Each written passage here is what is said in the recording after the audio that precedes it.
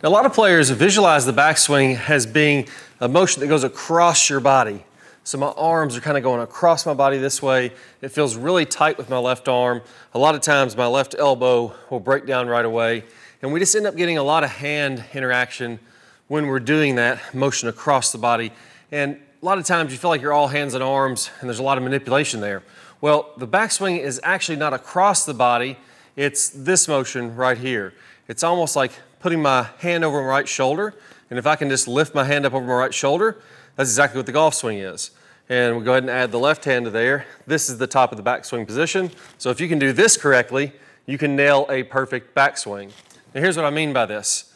I'm doing this motion at the top of the backswing and I'm adding it to this motion, which I'm rotating my body back and I'm rotating my body through. When I put both of those things together, this motion with the rotation, that's when I get a golf swing. So let me break it down for you. Let me get the perfect position to show you how to do this where you can see your hands in front of your body. Then when you add the rotation, we're gonna be hitting that perfect backswing positions time after time. So first, let's talk about where the setup position would be. So I'm gonna go ahead and address this golf ball here, getting a good setup. And if I stand up out of my posture, my hands would be right here. They're slightly in front of what would be the golf club head or the golf ball, and they're about waist high. So I'm just bending forward to put them to the ball. I'm standing straight up so that now I can see my hand position. Let's go ahead and lose the club and the left hand for now to make things easier. I'm gonna start with my hand kind of in front of my left hip, and I'm just gonna fold it up to where it's about eye level height. It's over my right shoulder, so I don't want it here in front of my body like this. I want it to be kind of on the outside of my right shoulder. If you have a lot of flexibility in your right arm, you're gonna be able to turn that forearm to where it's straight up and down or even slightly out like this.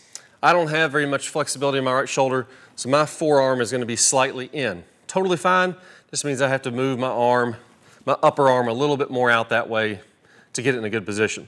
Now, a big mistake here is when a lot of players think about this arm going across, is this right arm really bends close to the shoulder.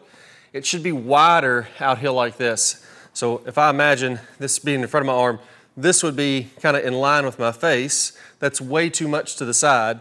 I want to keep that width or keep that hand in front of me on this uh, position here.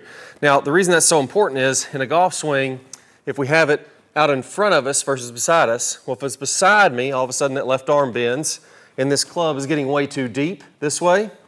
If I keep it out in front of me, now as I rotate, I'm keeping that width. You hear all the time great players, great pros talking about keeping that width back and down. That's what they mean. Hands a little bit more this way rather than being sucked behind them like that. That sucked behind them position is these hands really close to my body rather than keeping that width like you're seeing with the top pros. So that's pretty much it. Starts at the left hip, folds up, eye height, outside the right shoulder, forearms basically up and down, a little bit of width here, and then the final piece is I'm gonna have this hand angled like this. If my hand was straight up and down and I was gripping the club this way, that would be a across the line position. If I angle that club shaft out to the right like that, as I bend in my posture and get into my backswing position, that would be on plane. So once I have it here like this, I'm simply just adding the left hand to it. And I'm gonna go ahead and keep my left arm straight. If you're not feeling like you can keep your left arm straight, again, you've probably lost that width. You've probably bent this hand way too close to your right shoulder. Get a little bit farther out there like that, perfect backswing position. Now, if you think about it, well, I'm gonna go back from a starting position, hands in front of the left hip, club head where the ball would be, or I'll go here again and show you. There's my address position.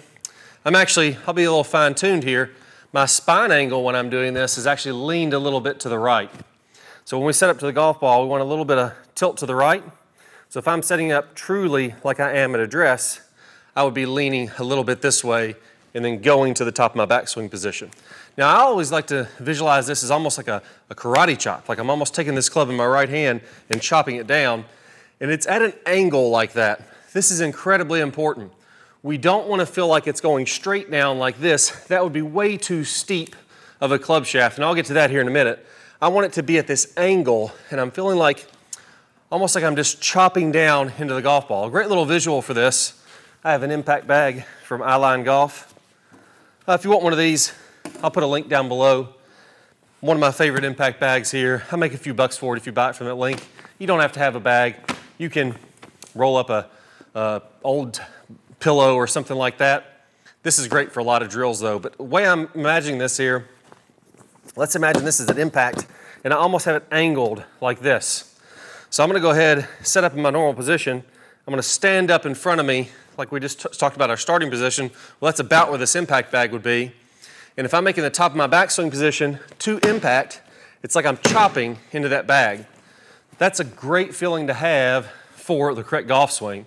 Now, another piece of that, if you want to shallow out this club, you don't want to chop down vertical, like I said. You imagine the hand angle is like this. I want to keep my club on this side of that hand angle. That's shallow, that's from the inside, that's what would be lag when I'm in my normal golf swing. So my club stays on this side of my hand angle. So if you imagine that here's the angle of my hands, I make sure the club stays shallower than that as it's coming down.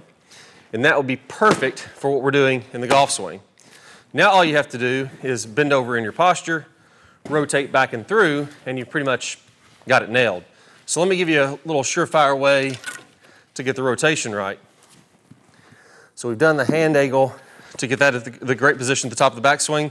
Again, I'll go over that here. That would be this in a real golf swing. Right, picking that club up over the right shoulder. As I'm in my posture, that looks like a normal swing. Now the second piece is I'm gonna put this club inside my right ankle. And what I'm gonna do is I'm gonna put a club across my shoulders. Now make sure it's all the way up at the top of your shoulders here. As I go to the top of the backswing, I'm just gonna rotate until that club is over top of the club on the ground. So if I dropped it, if my leg wasn't in the way, this club would fall down and fall directly onto this club. If you want to do one better than that, rotate past that club. So I'll put the grip in kind of sticking out so you can see it. This would be great. If I go a little past that, that would be even better to where my club rotates here. The reason I have this club on the ground is I don't want to do this. I don't want to fall to my left. Now I made a bad turn, and if I drop the club, it would be way over here somewhere. I want to get a weight shift over to the right and get my club on my shoulders matching that club on the ground. That's the backswing. Add a little bit of a tilt or an angle to it, now you're swinging on a plane, just like you are in the real swing. And as I finish that, I'm gonna come all the way around and I'm gonna feel like the, if I stick this grip out of the right, my right shoulder, as I come through, I'm just gonna feel like I get this pointing toward the target as much as I can. Now, if you're not very flexible, it's gonna be very important to let this left foot rotate open in the fall through. It's also gonna be very important to get the right foot all the way off the ground to let everything turn on through there. But then again, that's the backswing. I'm rotating back, I'm rotating through as far as I can. That motion with this motion is a golf swing. So practice each of those individually, and then once you get the feel for them, you're just gonna put both of them together.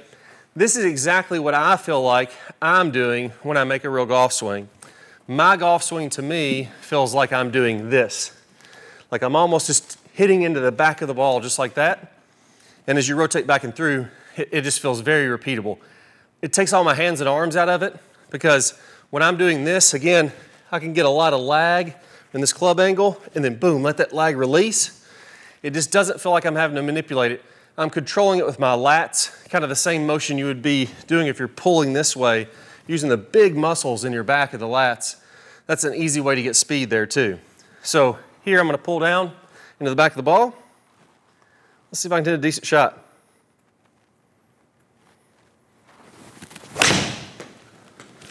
There we go, nice little draw. Coming back in toward the target. Not gonna do a lot better than that. One of the first swings of the day, 193 yards with a six iron. That felt pretty daggone good. Now, there's a big piece of this that I mentioned early, earlier in this video. I don't want to feel like I'm doing this motion, pulling this way. It's more of this type of a motion. That's actually a big key and something I'm to go over here in a second that's causing you to rush your downswing. So if you get to the top of the swing and everything feels really quick and out of tempo, out of timing, there's a very important thing you want to do with that first move down. And I want to show you how to do that. I have a great video I'm going to play for you here in a second. It's a preview of that If you want to see that full video, all you need to do is go ahead and click one of the cards that you see on the screen. If you don't see one of those cards, don't worry. Just go down to the link down below in the description. You'll get access to that, that full video. I'll get you to stop rushing that downswing, smooth out that transition.